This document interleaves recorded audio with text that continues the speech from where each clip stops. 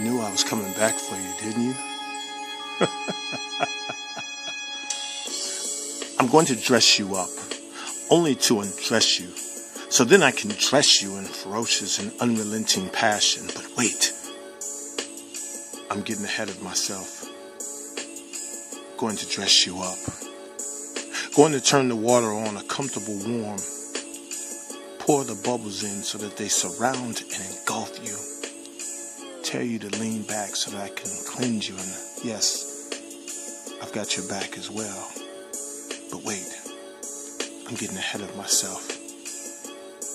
I'm going to dress you up. After I've cleansed you thoroughly, the towel will dry you off completely. Then with hands, my hands moisturize your skin. Finally, we'll apply the perfume that will be my kisses to all the places that make up your body. But I'm getting ahead of myself. I'm going to dress you up.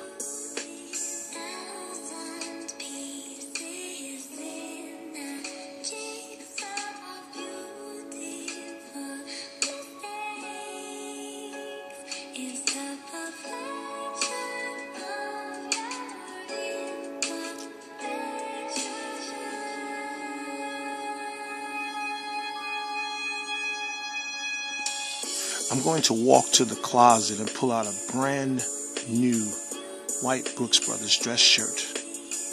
I'm going to button it all the way up to where your cleavage begins. Roll up the sleeves and button those as well. But wait, I'm getting ahead of myself. But I am going to dress you up.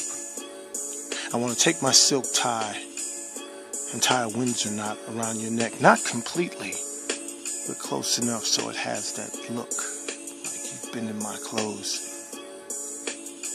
But wait, I'm ahead of myself. I have to let you rest after a long week, but believe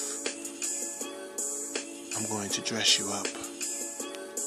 A bit presumptuous am I. I bought your size in the Giuseppe's you wanted hand upon each calf in turn as I slide them on each foot.